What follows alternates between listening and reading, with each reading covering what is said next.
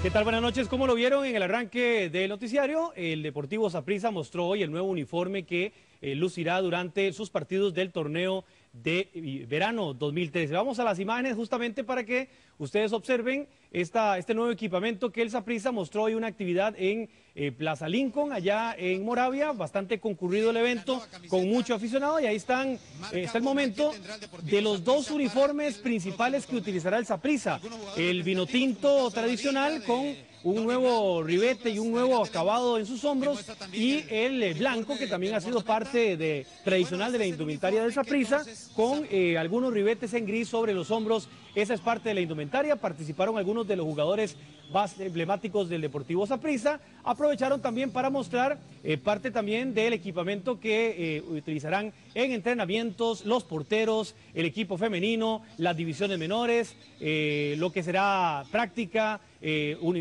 la indumentaria para estar en las concentraciones. Así que esa es la nueva camiseta del Saprissa. 32 mil colones tendrá de precio para el público general. Es de última tecnología, producida por la compañía